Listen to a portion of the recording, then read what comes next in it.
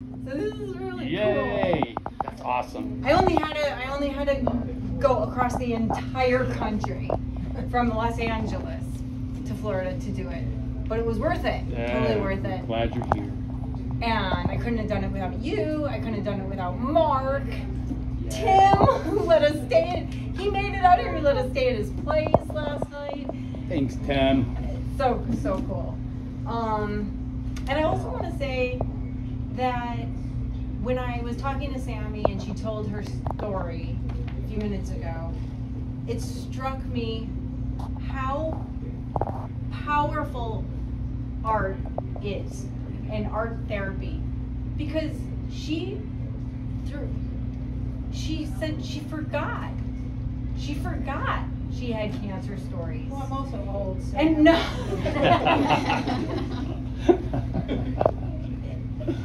but I, on top of that I, the fact that you can talk about art and enjoy art and it's that powerful that you forget about sickness or sadness or stress. It really struck me. I thought it was really powerful inspirational. Thank you. Um, so i just thought i would read the very last chapter of my book which if you want to look at this i'll have it over there days. I'm so close. It's it's days. I'm so excited. I was hoping to have it here. Um, didn't work out but it's very close. So i just thought i would read the very last chapter which is called and finally which is also the title of that last picture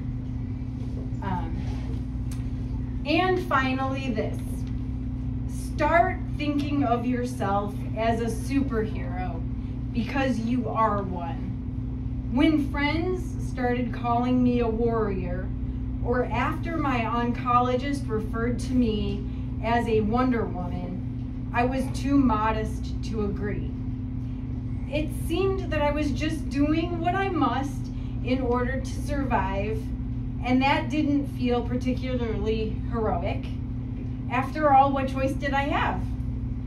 But after moving through my own journey, as well as witnessing those of so many others, it suddenly occurred to me that after all we've gone through, we've become thrivers.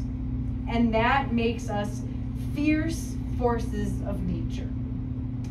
Now, what I feel most often is victorious and you will too. However, your story may turn out, we tend to focus on the outcome as a measure of success. But the real win is that you still got in the ring and put up your dukes. Meet you after the fight. Love Traci.